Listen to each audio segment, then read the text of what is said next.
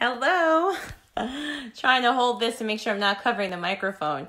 Anyway, I wanted to uh, talk to you today about a very quick, simple technique that you can use to release any kind of emotion, any kind of anxiety, negative um, emotion, fear, or even just to relax. You know, I think that a lot of us from time to time and throughout the day could be experiencing uh, a little bit of an adrenaline frenzy. And uh, so, there are some techniques called uh, EFT or emotional freedom techniques and I don't know about you, but when I first heard about EFT many years ago, um, I couldn't quite wrap my head around it. I was just talking to a friend about this yesterday.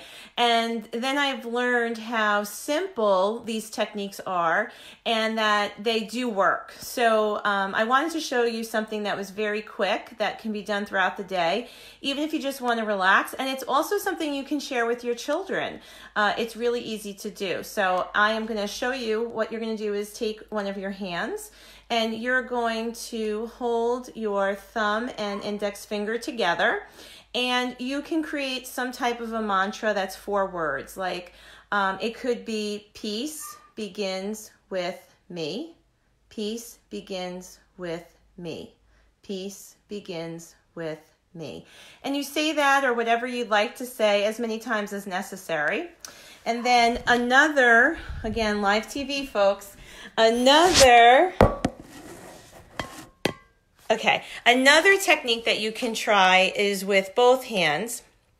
And what you're going to do, and it doesn't even require you to say anything, is again, you're going to take your thumb and index finger and hold them together. I'll step back a little bit. And you're going to take a deep breath. And on the exhale,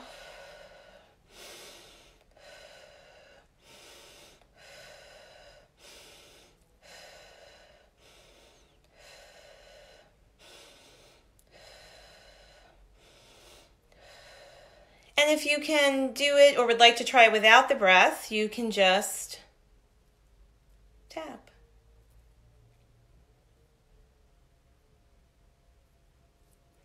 Now, if you're like me, when I first saw this, I thought, what is that going to do for me? I mean, I don't know. It seems silly tapping my fingers and breathing or repeating something all I can tell you is to try it because it really works. So, next time you're feeling a little uptight, next time you're feeling a little anxious, you're feeling um, stressed, uh, your kids are acting up, whatever, just try it. You with kids, you can make a great game out of it.